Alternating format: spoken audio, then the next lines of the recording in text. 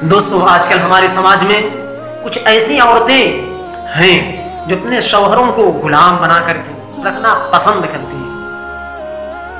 और एक गुलाम की बीवी बन करके ज़िंदगी गुजारती है। मशहूर मुहावरा है, सबसे अक्लमंद औरत वो होती है जो अपने शौहर को एक बादशाह समझती हो और अपने शौहर की परमाबरदारी भी करती हो। और एक बादशाह की बीवी बनकर के ज़िंदगी गुजारती। है तो जिस औरत ने अपने शौहर को बादशाह समझा, गोया कि वो बादशाह की बीवी हुई, मलिका हुई, और वो औरत जो अपने शौहर को गुलाम बना करके रखती है, गोया वो औरत बेवकूफ़ औरत है। और बेवकूफ़ औरतें वो औरतें होती हैं जो अपने शौहर को गुलाम बना करके रखती हैं।